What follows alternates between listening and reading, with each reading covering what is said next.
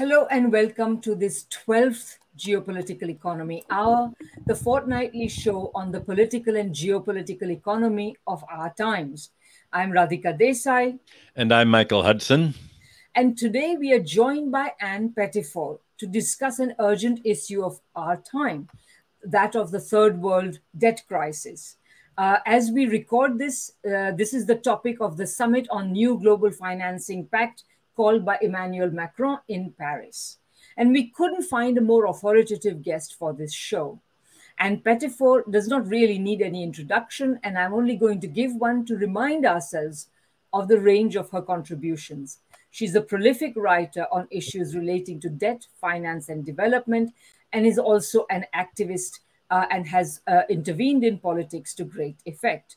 And John uh, launched the Jubilee campaign for debt forgiveness for the poorest countries at the end of the last century, earning the support of the likes of Pope, John Paul II, Muhammad Ali, uh, Tony Blair, Bono, Gordon Brown, and Bill Clinton. She served as an advisor to prominent British Labour Party figures such as Margaret, Margaret Beckett in the past, and more recently, between 2016 and 2019, she was an advisor to John McDonnell MP, who was Shadow Chancellor when Jeremy Corbyn was the leader of the Labour Party. Then in 2021, Ann was appointed to the Scottish Government's Just Transition Commission, chaired by Professor Jim Skea, of the international uh, inter, intergovernmental panel on climate change the first government to prepare for the green transition uh, in 20 uh, sorry in 2006 moreover she had authored the very famous book the coming first world debt crisis which predicted the 2008 financial crisis well before uh, anyone did and at a time when every no one expected the crisis and is also the co author of the Green New Deal in 2008, which was subsequently adopted by the social justice Democrats, such as Alexand- Alexandria Ocasio Cortez and others, as a major plank in their uh, election bid. Um, and of course, since then, it's been more widely adopted as well. She's the author of many books and articles, uh, including Debt, the Most Potent Form of Slavery, um, and the Production of Money how to break the power of bankers.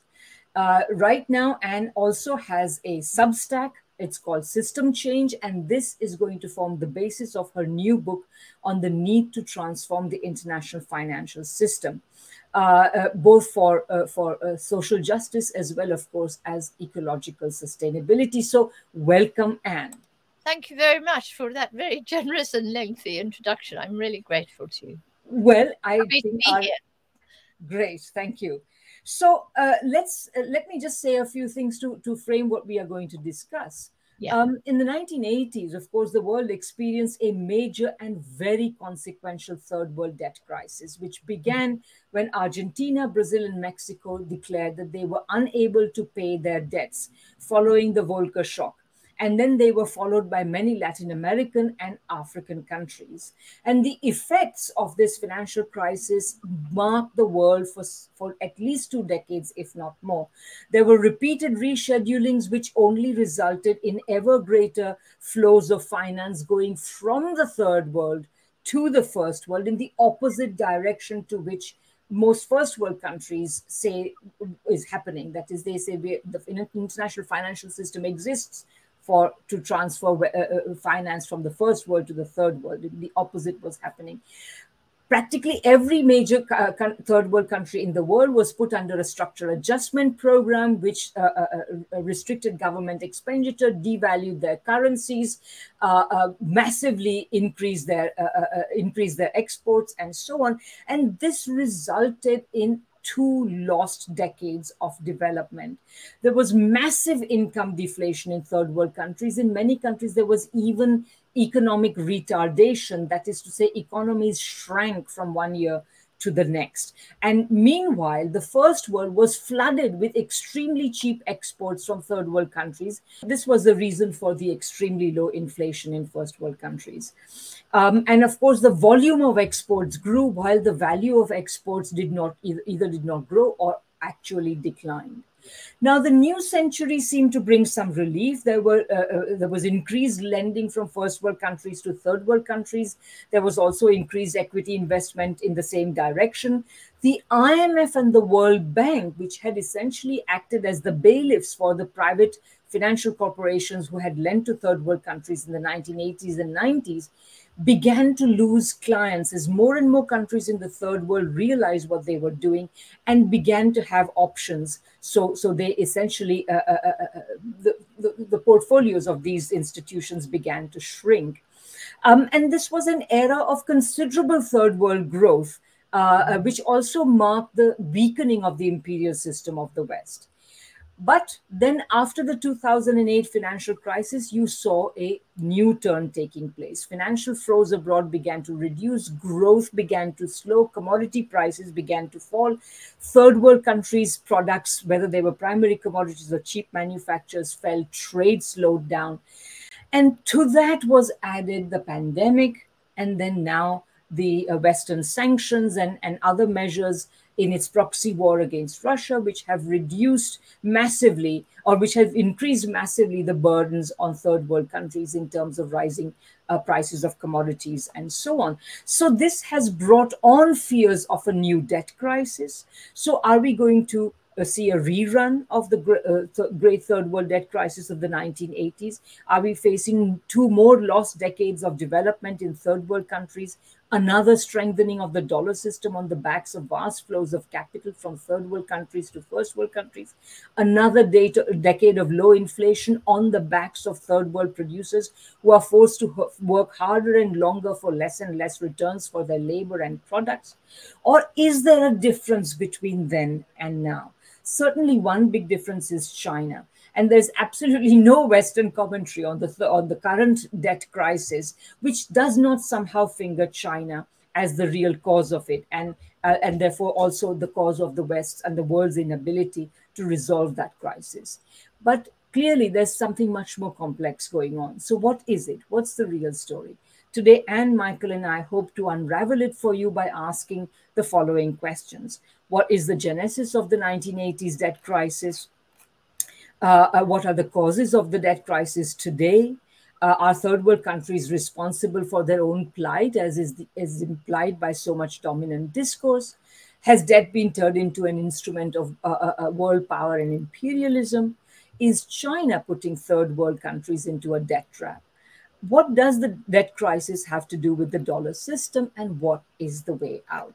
These are the questions, and perhaps, Michael, uh, we will start with you on the first one. What do you, how, what, what are your views on the genesis of the debt crisis? Well, we're seeing the end of a long process that was dysfunctional from the beginning and was bound to lead to widening economic polarization and crisis.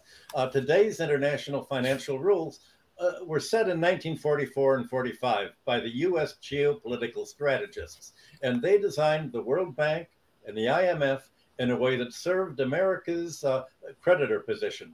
At the expense of Britain's position and uh, the world's former colonies, uh, and at the expense of countries that were debtors, uh, because the United States, uh, from the very beginning, used its creditor position to exert control over uh, debtor countries. That's what creditors are able to, to do. Uh, I explained all of this in my book, Super Imperialism, uh, at the outset, so I'm not going to go over that here. Uh, but uh, to be specific, the World Bank sought to steer the global South economies into dependency on U.S. food exports and other products. The way the World Bank was set up, it could only make foreign currency loans, not domestic currency loans. And yet, uh, for third world countries, uh, now we call them the global south, to develop, they needed domestic spending in, in their own currency. Uh, the United States uh, essentially said, well, we're really only going to lend to finance exports. Uh, we want uh, you, most Latin America and Africa, were told to export plantation products. The one thing the World Bank told that would not lend for was for their own domestic food production every uh, IMF mission said you, you have to do what America's done with its agricultural system provide agricultural services, marketing agreements, uh, uh, rural education, uh, seeds. Uh, the World Bank said none of that. If they produce their own food, then they will compete with American exports. We want them to produce only goods that America doesn't produce uh, and let them all compete with each other to lower the price of uh, debtor country products so America can monopolize the price of creditor country products, mainly food, manufacturers, uh, and high technology. So, the, uh, needless to say, this forced countries into balance of payments deficit. And that's where the IMF came in and said, well, once you have a deficit, you're going to have to devalue your currency unless we make you a loan. So, we'll make you a loan, but uh, you have to uh, uh, somehow uh, agree to compete with other countries by putting the class war back in business. You have to uh, be more competitive by uh, lowering wage rates because, after all, world prices have uh, the, same prices for raw materials, for machinery, for credit. When a country devalues, it's really devaluing its labor. And uh, the IMF started a process that's now gone on for 75 years of uh, continually lowering the exchange rate of third world labor uh, to make it cheap for American investors. And of course, uh, by imposing austerity, this didn't really help them pay their uh, debts at all. It made them even further in debt. And then uh, the IMF said, well, you have to privatize uh, and sell off your uh, raw materials, your mineral rights, your oil rights, and your public infrastructure to foreigners so that they can, uh, by buying out uh, your means of production, uh, that you can use these dollars to pay the foreign debts that you've run up by following our bad advice. So uh, it was a losing game from the beginning. And that's why uh, in 1982, uh, Mexico announced that it couldn't pay. And oh, behind all of this was uh, starting in 1953, uh, the CIA began overthrowing governments that aimed at land reform. Starting with Guatemala, uh, the, there was a decision made that countries uh, starting land reform are inimical to the United States, and you had U.S. government interference uh, in, in other countries to sort of force them into what uh, became known as the Washington Consensus, and it was all self-destructive and destructive. And uh, that really began in 1972, and it was obvious that uh, there was going to be uh, uh, the breakdown. And I was ba- I worked for Chase Manhattan Bank as their balance of payments economist, and in the mid 1960s.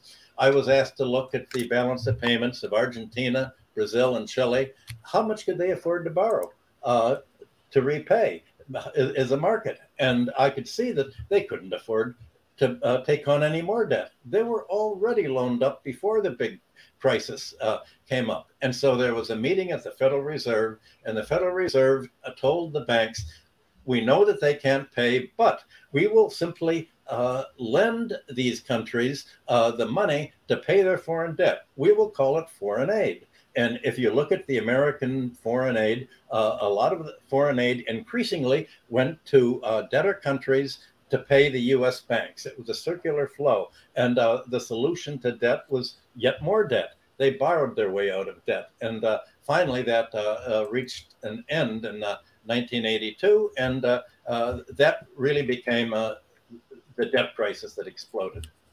Mm-hmm. Uh, Ann, uh, that's that's really great, Michael. So Ann, please go ahead.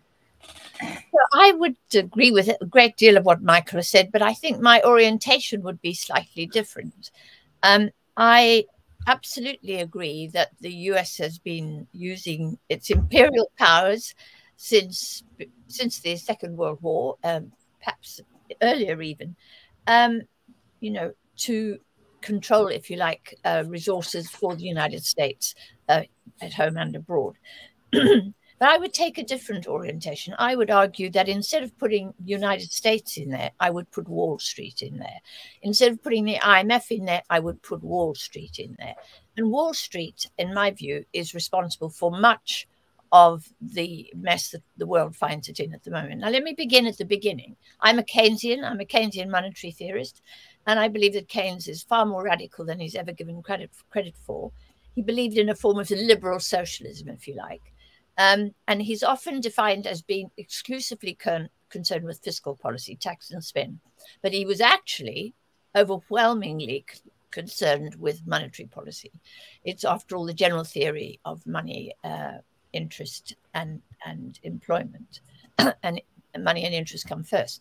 So um, in 1919, at the Versailles Treaty, he's in the negotiations. He's a young economist and he's struggling uh, to get his voice heard.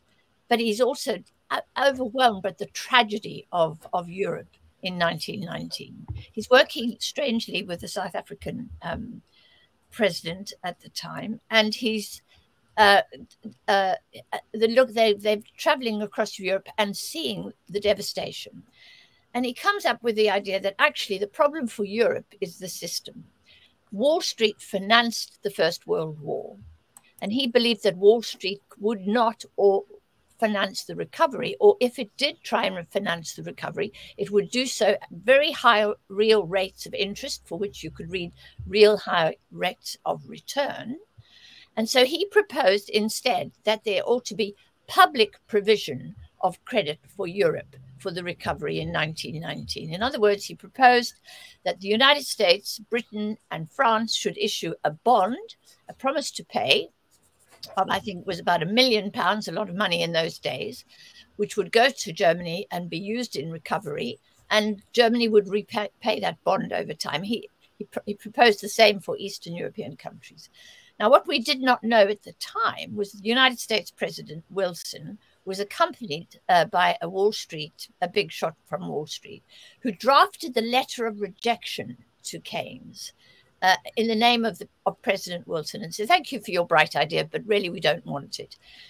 he was so disillusioned with that. And, but what he was proposing was system change. Rather than Wall Street financing the war and the recovery, he wanted uh, to use public authority to raise the finance needed for recovery in Europe. He was defeated hopelessly. Um, he then struggled on. He wrote uh, the uh, economic consequences of peace in a fit of very bad temper, and some of it is very personally insulting. Uh, and you know, the, it's not a perfect, but it's a text that's never been out of print, right? And he sort of gave up after that didn't give up, but he was despaired. And then uh, Britain, by mistake, fell out of the gold standard in 1932. And then in 1933, Roosevelt is elected as president. And on the night of his election, Roosevelt decides he's going to dismantle the gold standard. And he was, proposes to close the banks on the Monday after. And his staff said, and he wants to close the banks then, and that, that Saturday night, on the night of his inauguration. And his staff said, you can't because it's a holy day tomorrow. You can't do this. So you do it on Monday. And whereas most people think of the closing of the banks as, as a reason for saving the banks, in fact, it was a reason for dismantling the gold standard. And banks were instructed to hand over all their gold to the Treasury and indeed, the public were invited to hand over all their gold. And gradually, he moved the dollar off gold and he began to fiddle with the value of the dollar, in, in fact. Anyway, the, the, he, he's, no, he's not perfect, as Roosevelt. He made some big errors. He even decides to reverse course in uh, 37 and embark on a period of austerity.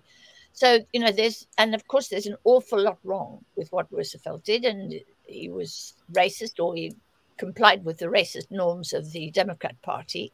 And he was a bit of a misogynist. He didn't include women in, for example, his, his camps for growing trees and, and helping with the nature's recovery. Um, so there we are. So then in 1944, Keynes goes to uh, uh, Bretton Woods and, and, and is defeated by White uh, and the, the, the, president's representative over the issue of who will control the world's reserve and how will you manage the world's reserve currency. He proposes an independent bank with a, clearing bank that would operate, if you like, above and beyond individual states and not draw on the imperial power of a single state. And he's defeated by the Americans who want the dollar.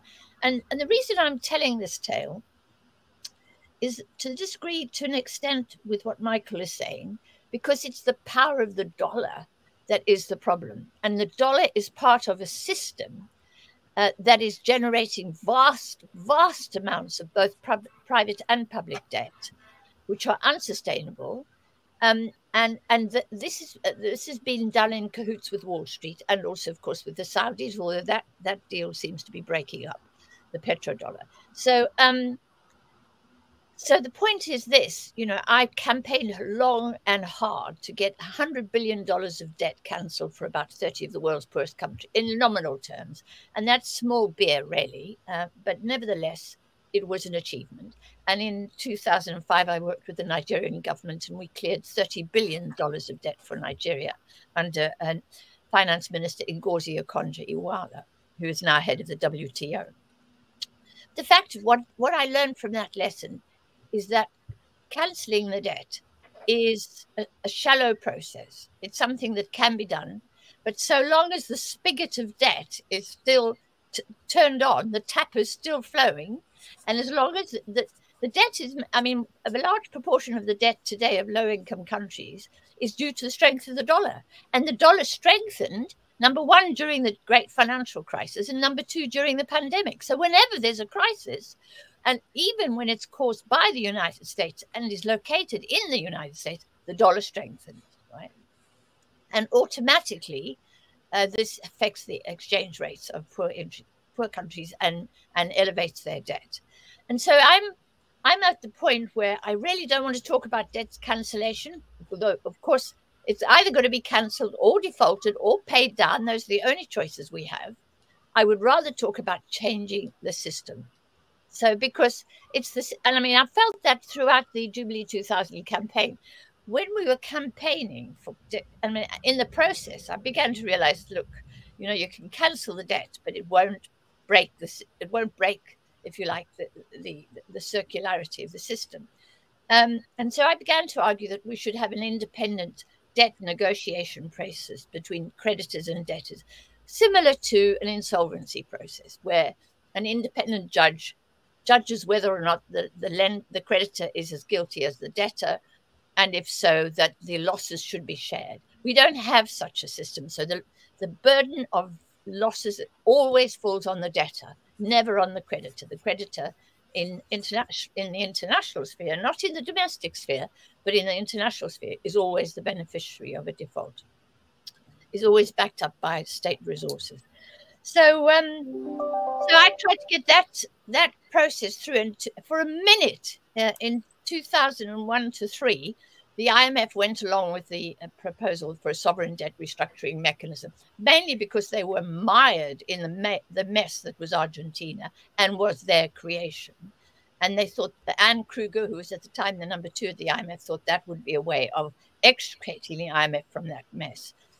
Uh, but that was defeated. I went to a conference in 2003 at the IMF and was invited to speak. And that proposal came up. It was defeated on the one hand by Wall Street, which was well represented. I had lunch. I was at lunch table with Paul Singer of the Vulture Fund, Elliott Associates. But most importantly, by the finance minister of um, Mexico, who is now the head of the BIS, the Bank for International Settlements, and whose name escapes me for the moment, who said, I'm sorry, I don't want to upset my creditors. Mexico loves her creditors. We want more creditors. And so I'm not going to support this. And because Mexico was such an important debtor and was so influential, uh, it was agreed that the, the whole idea should be scuppered, and it was. Now, there have been attempts to go back on it, and there have been dribs and drabs of here and there. But fundamentally, the balance of power between international creditors and sovereign debtors has not been altered. But what has happened is we've had crises, and this has worsened the sovereign debt crisis. So I hope that's not too long. No, no, that, that that's really great, and and I just want to add uh, uh, just a couple of thoughts to that because, you know, the question is, you know, what, what were the origins of the debt crisis of the 1980s? And I would say the debt crisis of the 1980s was the first crisis of the post 1971 highly financialized dollar system, because if you think about it, you know, as I think Ann, you rightly remind us of Keynes uh, and and and and what he proposed at Bretton Woods, and I really feel everyone should should study those original proposals because by studying them, you realize just what's wrong with the system that we have right now. Because Keynes's proposals were based on promoting balanced flows whether of trade of fine of capital etc whereas in reality and whereas by by rejecting that and essentially, I think, and you also said something else very important, which is that um, at Bretton Woods, we are often told that Keynes lost and White won, but actually, all proposals for a sensible international monetary system, which would not unreasonably empower any one state, which would not rely on imbalances, were rejected by the uh, Treasury Department, by the U.S. government, etc. And yeah. so they, they, they. So, so, so, so the point is that, and of course, the the the very imbalances that yeah. the U.S. system produced, the dollar system produced in the post-war era, led directly to its uh, um, to, to, breaking the link with 1971 because yeah. of the Triffin dilemma. The United States ran deficits in order to provide the world with liquidity, and the greater the deficits were, the the less valuable the dollar became, and so the system was unsustainable. And so the gold link was broken. But then what happened is that in order to counteract the Triffin dilemma, essentially by the counteract the effect of the US deficits on uh, on the dollar, what the United States did is vastly expanded financial activity. And that uh, expansion of financial activity increased the demand for dollars for financial reasons, not for productive reasons, for speculative reasons and predatory reasons, but they increase the demand for the dollar. And essentially, since then, what we've seen is periodic expansions of financial activity in one form or another. Which have uh, kept the dollar system going. And so you can see how ruinous it's been. So to me, the debt crisis, both then and now, is the result of the imbalances necessary for the dollar system to function. So in the case of the 1980s, essentially what you have is a situation in which the United States essentially Uh, uh, uh, in order, you know, in the turmoil that followed the collapse of the, the, the gold link and everything, what you had is the rise in oil prices, and then the United States persuading the oil exporting countries to rather than creating an IMF supervised facility that might have helped the oil importers, they said, you know, you please deposit your oil surpluses in our financial institutions. So these I think, please, I think they threatened. They threatened exactly. They threatened. They cajoled, and they managed to get uh, yeah. essentially dollars uh, which were earned by the OPEC countries to be deposited in Western financial institutions. And then, of course, if the Western financial institutions saw this tsunami of deposits, they had to lend and so the, in the 1970s, these financial institutions went on a lending spree. They yep. lent to third world countries, to even communist countries. Yes. They essentially became uh, touts of, of loans, you know, borrow from us because they had to earn interest if they were going to pay interest. And mm-hmm. in the 1970s, therefore, there was essentially a, a kind of, you know, the, the, the, the, the balance of payments restrictions on third world countries' developments were lifted.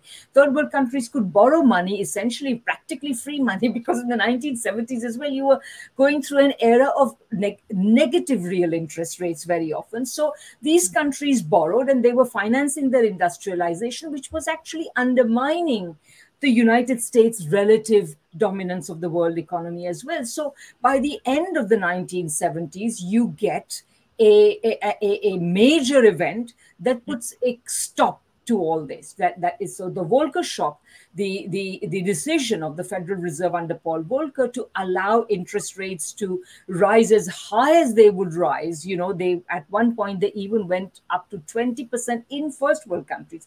Forget what they did in third world countries in order yeah. to to quell inflation, but also in order to restrict the power of labor in first world countries and restrict the power of an increasingly assertive third world that was demanding fairer terms, a new international economic order, and all these things. So the Volcker shock essentially interrupted all this. And then, uh, as you rightly say, in the uh, debt crisis that followed, the reschedulings and renegotiations that followed, principle, which is that there is creditor co-responsibility for adjustment for, for dealing with the debt crisis was completely eliminated. And debtor countries were made primarily responsible for, for the debt crisis. So in, in that sense i would say that this was the real origin of the third world debt crisis. And then it was resolved by essentially like i was saying earlier through structural adjustment programs which promoted lack, you know, de-development. And that's the other thing about the international financial system, which caused the 1980s crisis and is causing the current crisis. And that is that essentially the money, you know, debt can be a force for good.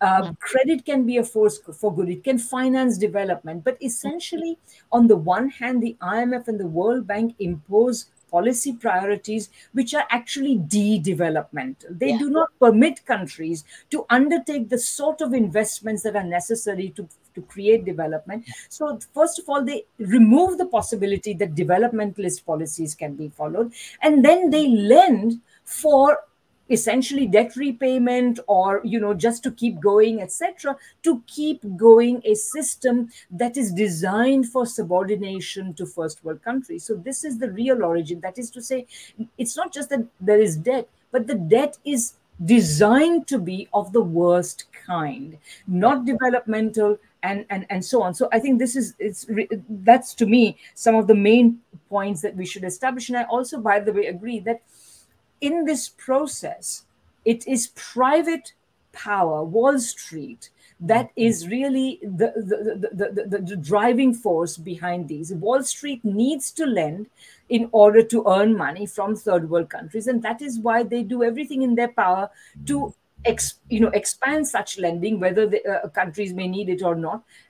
And, and then, of course, when there is a crisis, the governments of first world countries essentially end up backing Wall Street and, and getting the, you know, so making sure that they do not lose from their own irresponsibility. Mm, right. Uh, uh, would anyone like to add anything before we go to the next crisis, which is what do you think is the uh, is the cause of the crisis today? Perhaps we can talk about that. Uh, Ann would you like to go first? Yes, I mean, I, I, I yes, I want to say that the thing is, you know, the thing has moved on. I, I first of all want to say that total debt, uh, public and private, as far as I can tell, it's quite hard to get the actual numbers here, is about three hundred trillion dollars of debt.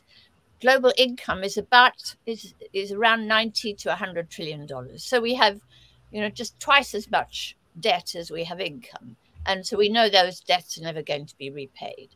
But the proliferation of debt is no longer something uh, that is a feature of the, the, the, main street or the high street banking system. It's now a feature of the shadow banking system.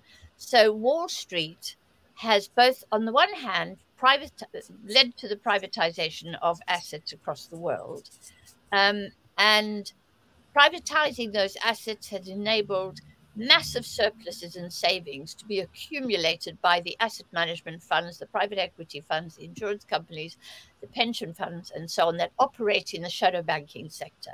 And they uh, they engage in a form of credit intermediation um, and, uh, and, and and so forth. And as a result, um, they are actually becoming the creators of new credit but beyond the regulatory boundaries of, the, of, of democratic governments or undemocratic governments for that matter. So we now have these massive amounts of debt. We have huge quantities of financial assets in the hands of these corporations, managed mainly by Wall Street. And we have, if you like, the deregulation of markets. And one of the reasons we have a crisis at the moment, and by the way, the Volcker shock, the Volcker shock was a consequence of Volcker's very low interest rates prior to and, and his highly accom- accommodative process towards the towards Wall Street.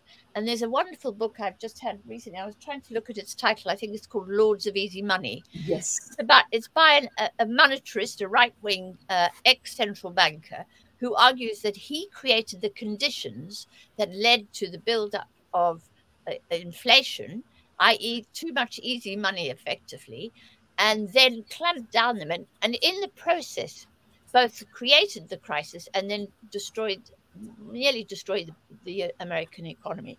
And that is such a reverse of the story that we get told. And what's so awful is that we've seen that process reproduce itself, you know, as we live now. We had this long period of very low rates, highly accommodative uh, monetary policies towards the shadow banking sector, the bailout of the shadow banking sector, which after all was the cause of the 2007 9 crisis and had to be bailed out again in 2018 and in 2020 at the height of the COVID crisis, 29, 2020, yes, and um, and is basically guaranteed and and backed up by central bankers. So we have too big to fail banks. We have something called pri- private equity, which by as Carolyn Sissoko has argued, is neither private nor equity. Not private because it's backed up by too big to fail banks, which are in turn backed up by taxpayers. And then their their investment is not therefore private, and it's not equity, it's debt. Um, they used to be, you know, they used to have a very different uh, branding. Um, they used to be basically debt creators, and uh, and they've just rebranded themselves. So we have so we have this deeply unbalanced and unstable system, which I know is going to collapse. I wish I knew when.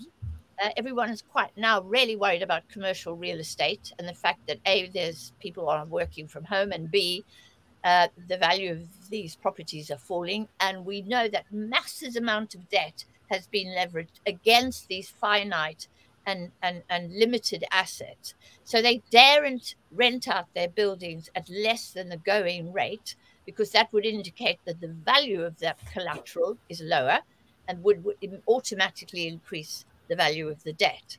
So uh, that's what happened to Silicon Valley Bank, and that's why Silicon Valley went down. So the corp- these commercial uh, real estate guys are hanging on to their real estate. I walked down Bond Street the other day, which is, you know, must be the wealthiest street in the whole of London. The number of voids was quite extraordinary, the number of empty buildings. And what they had done was put fancy uh, posters up in the windows make it look lively and interesting, but it was clear there was no business going on behind those posters. They will not rent out those buildings to at a lower rate to artists or to any other kind of business that could afford to move into and would love to move into Bond Street because doing so they would admit that the collateral that they held had de- declined in value. That would increase the demands of creditors for repayment of that debt. And so they're sitting tight this this this is going to break quite soon, and the question is when. Um, if we knew, we make could make a lot of money out of it. But anyway, so we we're reproducing the Volcker crisis right now. Today, our central bank has hiked up rates again, which is a form of sadistic economics in the rich countries. Never mind what it'll do to the poor countries, because what it'll do, it'll worsen the strengthening of currencies like sterling and the dollar these high rates of interest, and money will flood out of, for example, the country of my birth, South Africa, towards the city of London and towards Wall Street and weaken those currencies and therefore increase their debts as well. So, um, you know, I feel as if we're going over this all over and over again, but this time the scale is greater than it's ever been, and and that can be, that could be finally be the final, the, the final straw it seems to me. But who knows? You know, these these institutions are immensely powerful. They're now back. I mean, the the, the, the uh, Michael will back me up on this, but the U.S. Congress is effectively in the hand. You know, has been bought by Wall Street, so they have immense political as well as and therefore military power.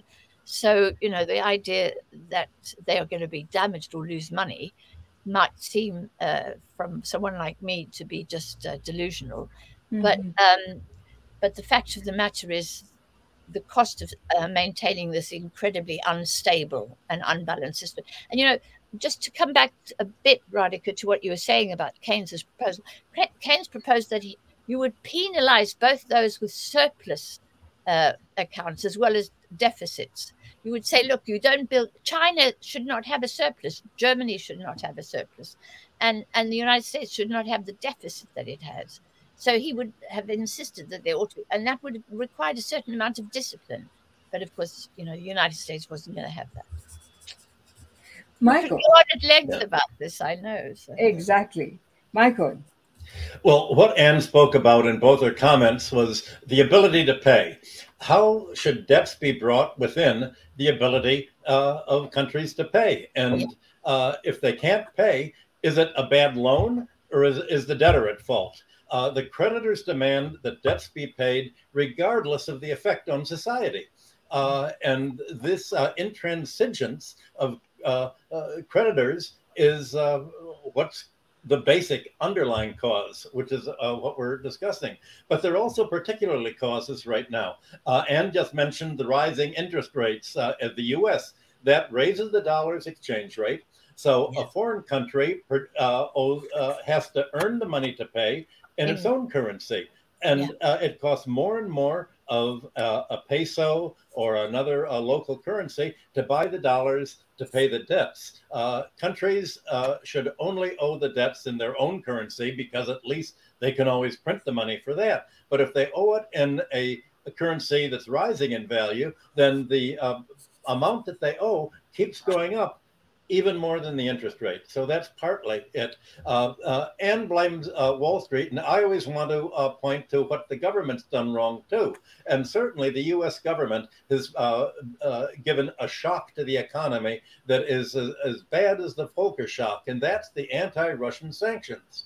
these sanctions against Russian oil uh, and gas have increased world energy prices. So all of a sudden, the debtor countries have to pay more for their energy, uh, which uh, the U.S. Uh, diplomacy is based on control of the oil industry. Uh, food uh, gas is used to make fertilizer, and fertilizer prices have gone up. So food prices have gone way up. That squeezed the uh, the debtor countries. And the problem is that uh, these countries owe more than they can possibly pay. Well, uh, what Ann suggested, you need some kind of international uh, judge to say, how do we bring the debts back into uh, uh, line with the ability to pay. This is uh, fought against not only by Wall Street, that obviously it wants to collect the debts no matter what. It doesn't care about uh, the effect on the third world countries, but the United States uh, has been uh, imposing these rules because it says the more Wall Street makes, the more the U.S. economy makes, and that's what gives us our world diplomatic power. the, the fact that other countries owe us dollars give us the ability to do any uh, U.S. diplomacy we want, including the military diplomacy of running an enormous balance of payments deficit uh, for military reasons. That's all financed largely by uh, the creditor position of the United States, extracting the money uh, from the global South. So, but, but uh, Michael, Michael sorry, could I just interrupt you? Because the thing about this, I mean, one of the um, the most striking things about the Roosevelt administration was that they understood that they were moving the government from Wall Street to the Treasury Secretary's office in Washington. Yeah. Now, you know, that was an admission that the government was owned by Wall Street. And I would argue, Michael, that Wall Street owns the American government. So I would never disagree I, with that. I, I, find it hard to make the distinction there. And can I just say, I think you and I are going to differ on Russia because I think Russia did invade Ukraine and and territory, blah blah. But what I'm very clear about is that it was absolutely unacceptable for the United States to freeze Russian foreign uh, Russian reserves.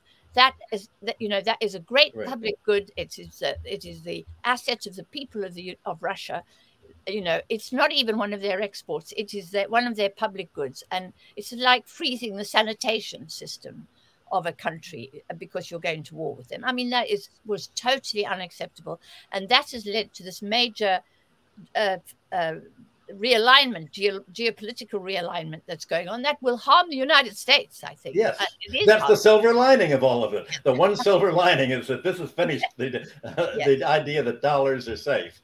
Yeah, no, absolutely.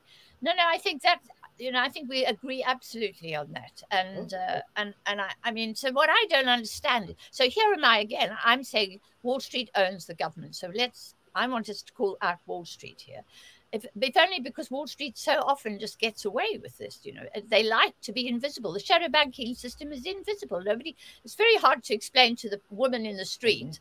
Look, there's a shadow banking system. Did you know about? Can I explain it to you? You know, it's out there in the stratosphere, and I'm sorry you can't see it. You know, and your government has out but it becomes very real as it has now when global commodity prices go berserk. Now, I've had a real battle here in Britain to assert that we have inflation not because wages are rising un, uh, unreasonably. And this government is hell bent on a class war.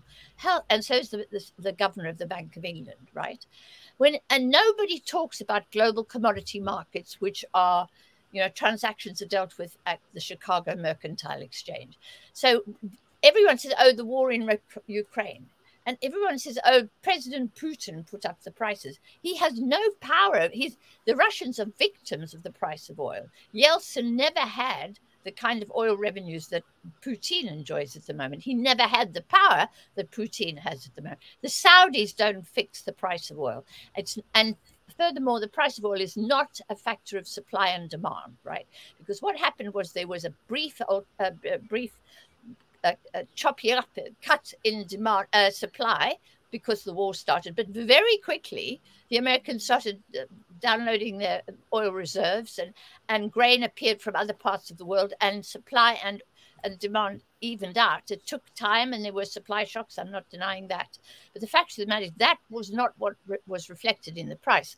It was the speculation that the, the, the, the price of those essential commodities would keep rising.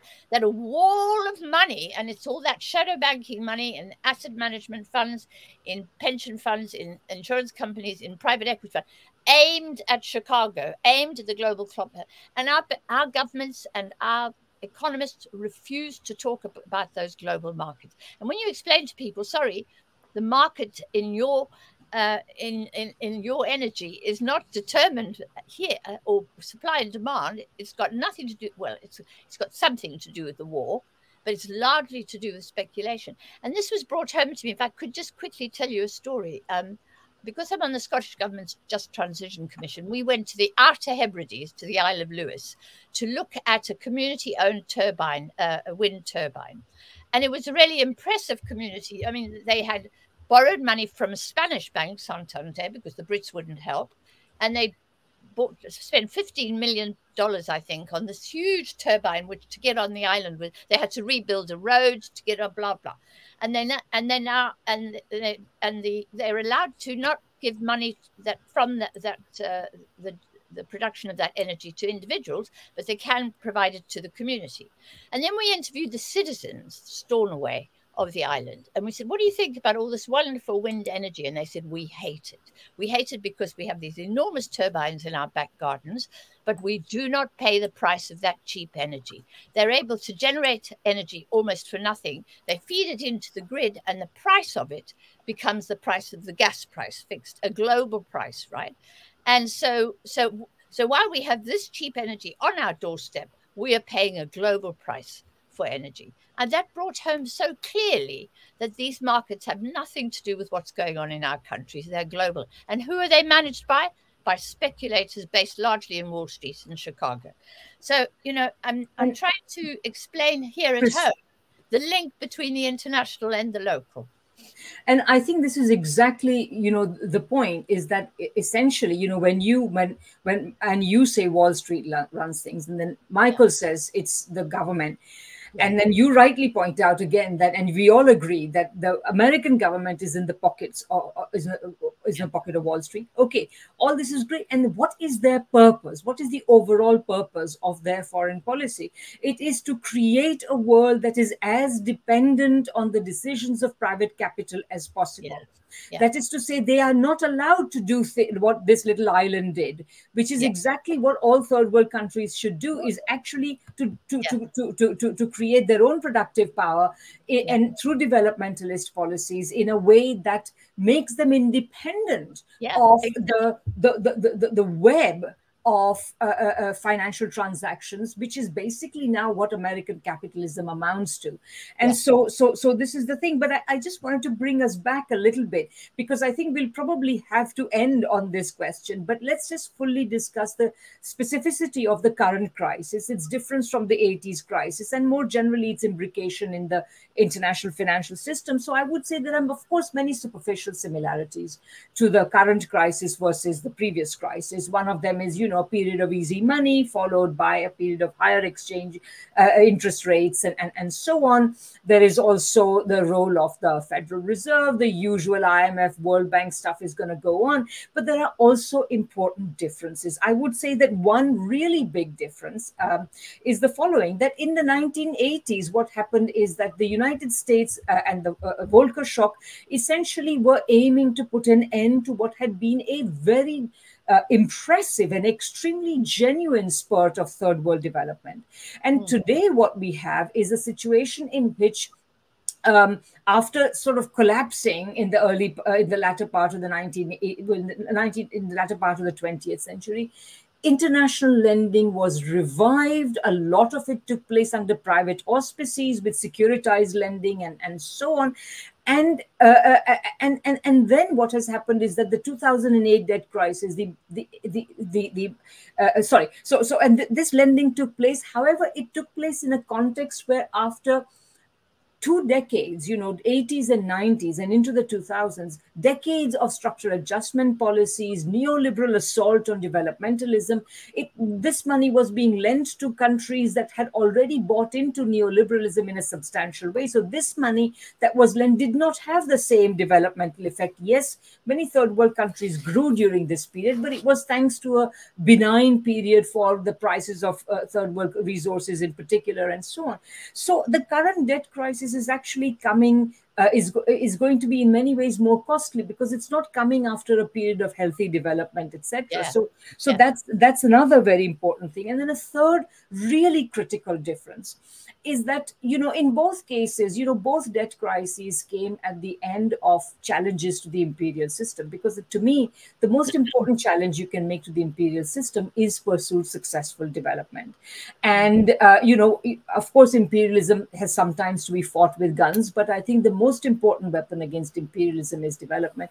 And today what we see is that china in particular is in the forefront of having been able to develop and it has been developed it has developed precisely because it has shielded itself yes. from the effects of the international uh, uh, of the system of international governance whose prime purpose is to impose de-development to keep third world countries less yeah. developed so it has yeah. done that and by the way one thing we haven't uh, mentioned you know has done that to, through various means but that includes capital controls we have also come at the end of so many decades during which uh, uh, the lifting of capital controls was the holy grail uh, that was pursued by the, the US government. So the presence of China, not only as an important developed developing country, but also as now a major lender to third yeah. world countries is another big difference. And this debt crisis is going to look uh, quite different because it's taking place in a context where the presence of alternative sources of finance, principally China, and to a lesser extent the BRICS,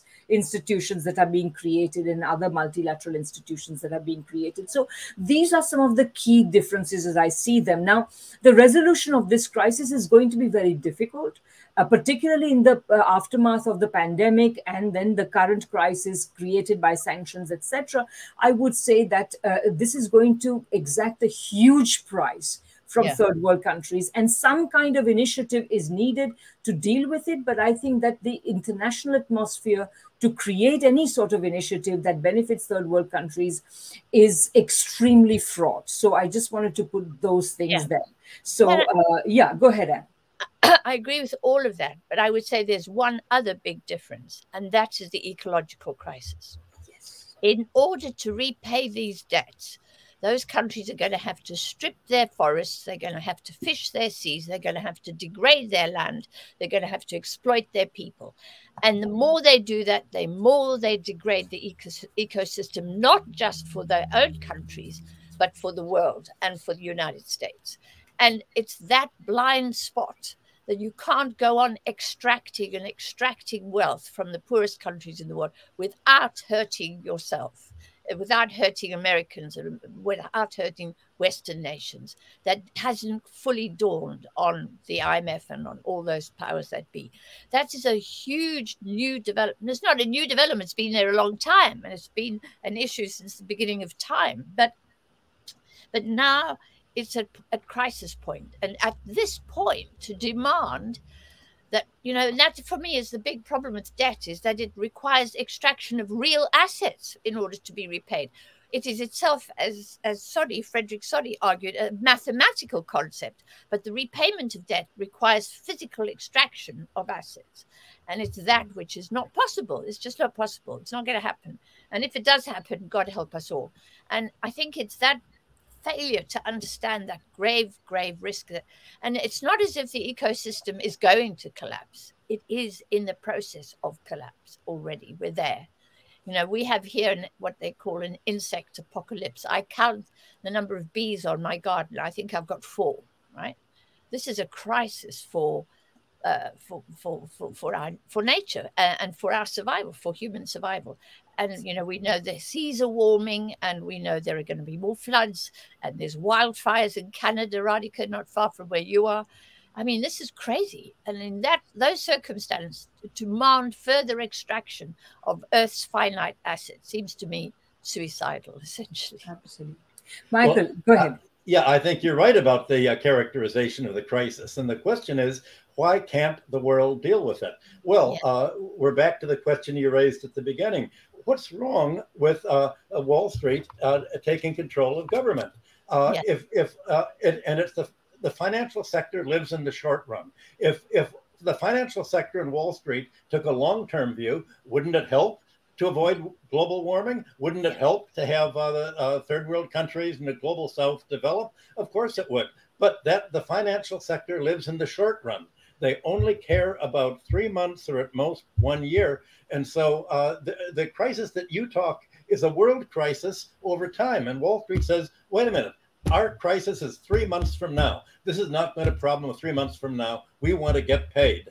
Uh, and we want to get paid but I'm sorry, you're going to have to cut down your force to pay because that's what you owe right now. We're talking about the difference between short term and long term perspective. And that's the problem of Wall Street short term perspective. You'd think that the government can take a long term perspective. And as Radhika just pointed out, that's what makes uh, China uh, in a strong position because the government runs the, fi- the central bank instead of the central bank running the government.